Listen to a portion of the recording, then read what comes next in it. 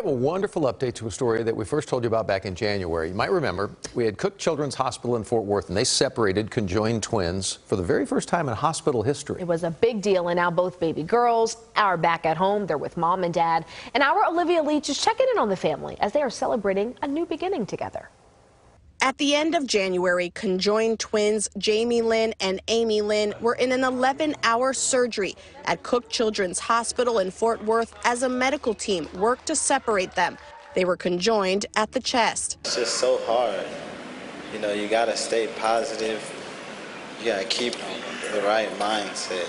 Because even whenever they're going into that surgery room, we didn't know the outcome, but we were just praying for the right one. After weeks in the NICU, Jamie Lynn got to go home in March. Amy Lynn had a tougher road ahead. She had to undergo an additional surgery. But last Friday, Amy Lynn finally got to go home too. Definitely weight lifted, a lot of emotions. Today, the twins and their parents returned to Cook Children's Hospital to celebrate. Mom Amanda shared the best part of this milestone. Them looking at each other and holding hands. It was hard to say goodbye for the medical team who cared for these babies for so long. It was very bittersweet. We're also excited that they were getting she was getting to go home with Jamie and her parents, but then we were going to miss her. Yeah. I mean, we all just love both of the babies. Like they're part of our family. And so there's a little piece missing now that they're not here.